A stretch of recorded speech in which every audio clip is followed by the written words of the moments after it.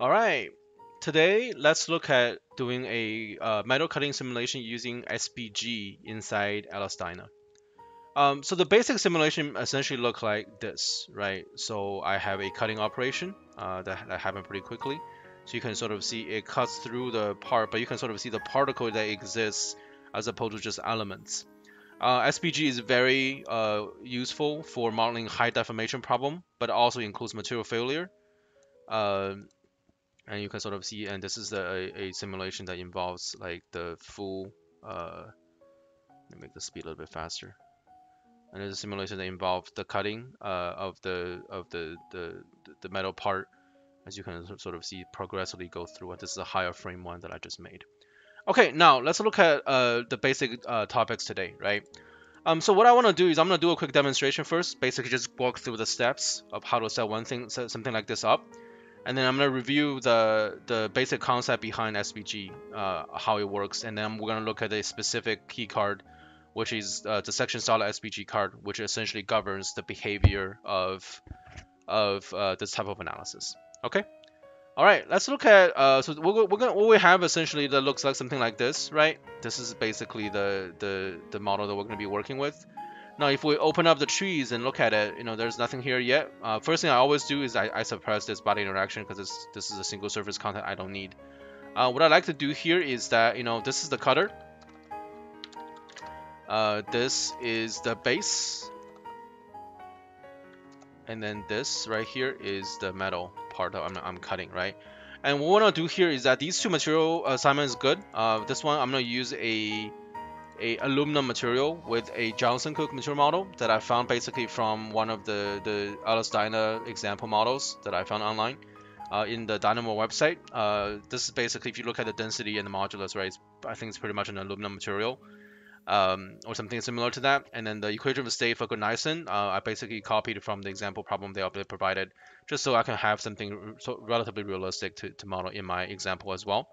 Right, and these combinations are necessary because we want to model high deformation that includes material failure, right? So we need these uh, D1 to D5 damage parameter as well as the SPALL method that sort of defines what happens once the, the, the element, quote unquote, the particle has separated far enough that it will fail right? The equation state basically governs the bulk, bulk, bulk response of the, the material, which we also need for high deformation problems.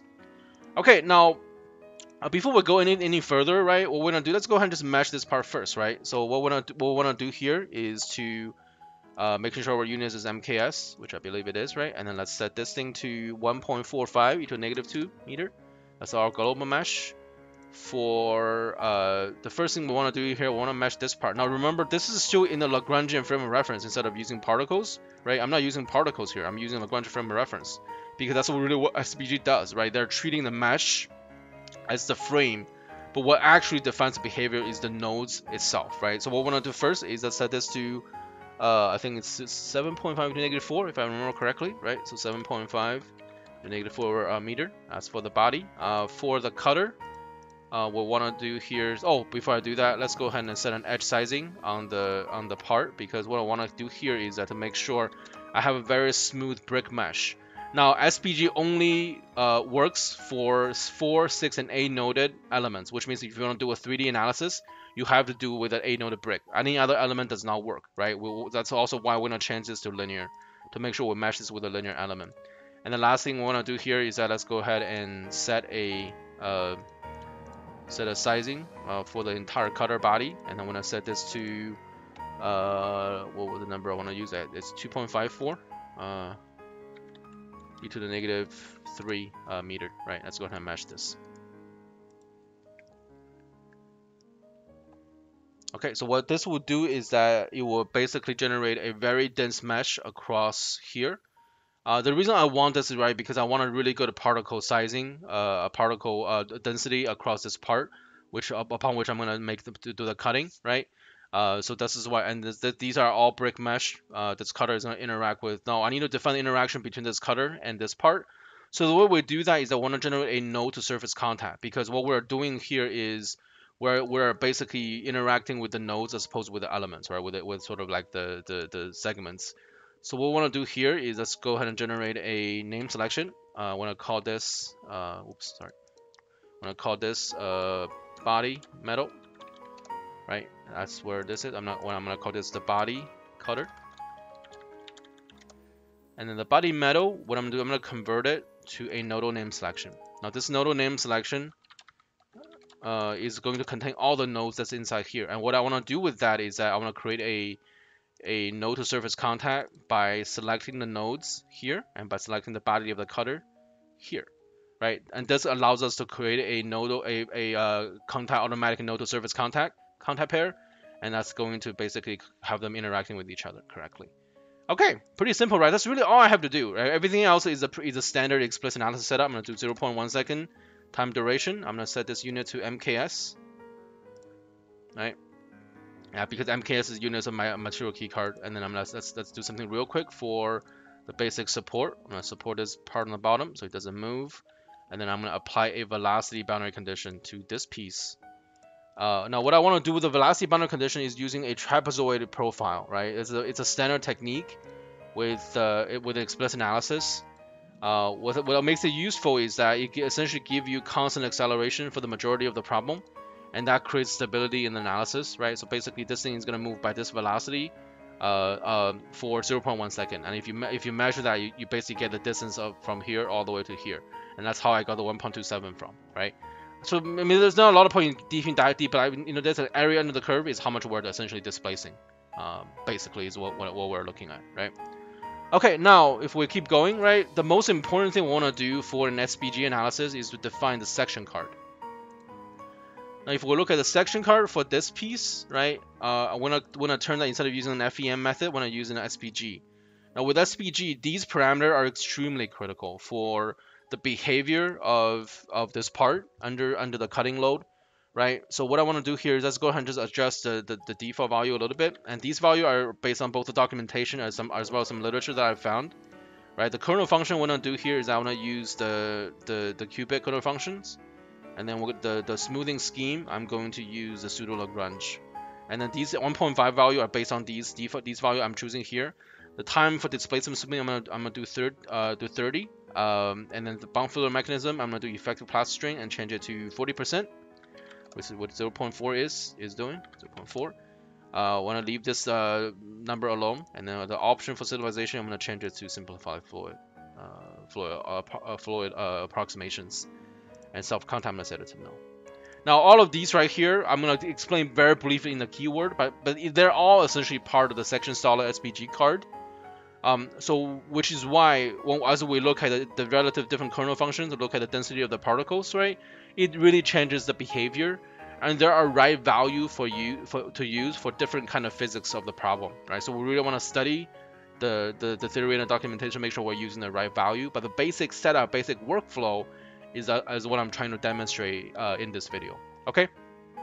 Now with this kind of problem, what we really wanted to do is to make sure we're turning off default control cards and default database cards. Now, I talk a lot about this in the past. I actually have a video where I talk about, you know, writing on your own default cards, right? So in this case, I'm actually going to use uh, what I recommend, right? I'm going to write out two keyword files. One is called a default control, and then right is called a default uh, database. And then, you know, if you know about my work, right, my, my video, I have a default, default control default database card, which I'm going to copy over to, to this problem and make some slight modifications, right? So for the database card, this is what I'm copying over. Uh, and then I'm to change this. This is uh, about 5 to negative 4. Should be enough. And then for the default control cards, I'm to use these right here. And the reason these exist is because I don't want to use all the control, default control cards that they exist for this kind of problem, especially things like hourglass control, and then the the the the bulk viscosity type of control that's sort of written out in the default control cards, right? What we want to use is just these cards. We don't want to use the ones we don't really care about. And that's why it's really important to make sure we're using the right cards. Okay? All right. That's pretty much everything. Let's look at what we did. All right. We'll have a cutter that's going to cut uh, metal material. The metal material is a default with a JC and EOS combination.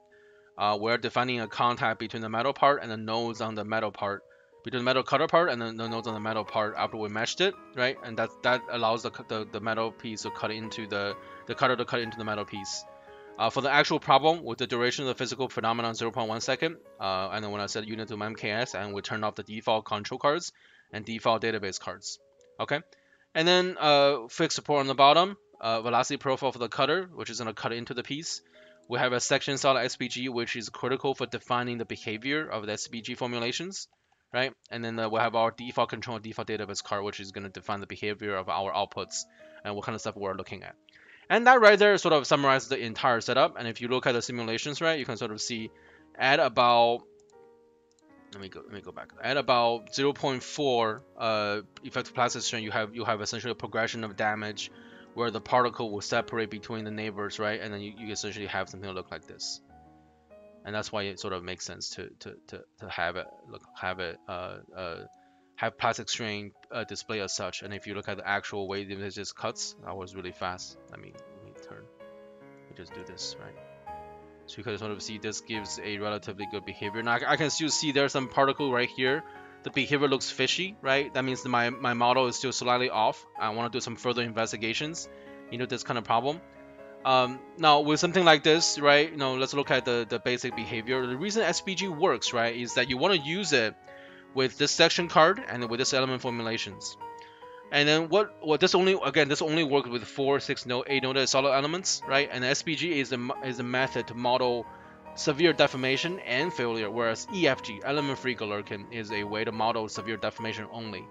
Um, SPG does not require background mesh, where EFG does. I might make a video about EFG later, right? But SPG is, in my, in my opinion, much more useful because in any problem where we have severe deformations, usually we have to also consider material failure, which is why SPG is a very useful way but if you look at the EFG and SPG comparison in the cards, right, their behavior is very similar in terms of the setting you have to do, the type of set option you have in the in the control cards. Now, the nature of the particle-based method is that you're essentially solving these uh, uh, uh, hydrodynamics uh, properties, right, in the model. Uh, and then each particle is going to have its own mass and momentum and hydrodynamic property that we might want to solve. And that's how the problem itself is being formulated, right? Whereas in finite element, we're looking at things like shape functions. In here, we're looking at the, these characteristics on the, at the node at the nodal level. Um, and there's a lot more to learn about this, right? But I want to put this information together as the very high level view of how SPG works. Now, and then the most critical thing, of course, is the section solid SPG card, right? These two parameters, ISPLINE and kernel, defines the kernel function and smoothing function that's used to define the damage deformation gradient of your, of your SPG particles these parameters right here uh, are basically, you know, are based on the value of the kernel that you want to use. dx, dy, dz has, has these default value that you might, you might want to follow. Over here, I found some literature where we talk about the different kind of uh, uh, uh, dx, dy, dz value we might want to use for different kind of material, right? Because they're really material dependent. It's very critical for us to understand what we're trying to model, then we can correctly select these numbers. And if you look at the, the other parameter, these are really related to things like stabilizations. Uh, it's also also very much related to the type of kernel function that we're using, right? So the most important thing to understand about particle method is in fact the kernel functions and the smoothing function that we're using. Does apply to both SPG and SPH, and that changes given the, the physics of the problem. So I think in, in reality, in practice, this requires a lot of more trial and error to make sure we study the behavior in the, the response in the model to make sure it matches the expected behavior in reality. And it's not something you can just do uh, once and get it right. I feel like, you know, unless there's some, some really good guidelines, I believe I personally will have to try out these value, these parameter value in the control cards to make sure I'm getting the response that makes sense. Okay, that is the video. Hopefully it helps. Thank you very much.